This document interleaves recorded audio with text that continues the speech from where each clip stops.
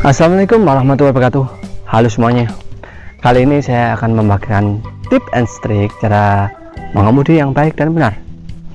Cara mengemudi yang baik dan benar bukan hanya kita tahu tentang peraturan lalu lintas rambu-rambu yang ada di jalan raya kita harus memahami fisik kendaraan kita juga fisik kita sendiri.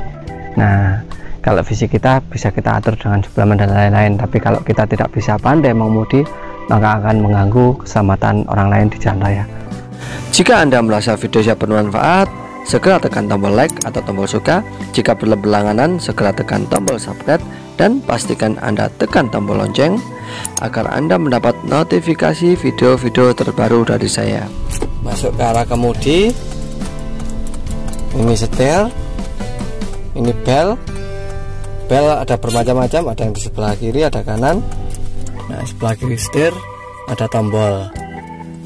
Tulisannya di sini full ada air nyemprot.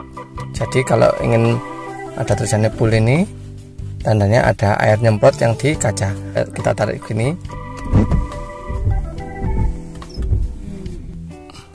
nah, terus kedua.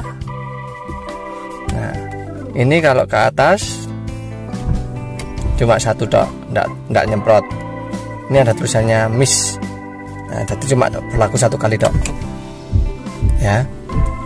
Terus kalau ke bawah hujan hujan biasa hujan deras hujan sangat deras. Lagi pas oke paham? Itulah pengetahuan tentang kipas kaca.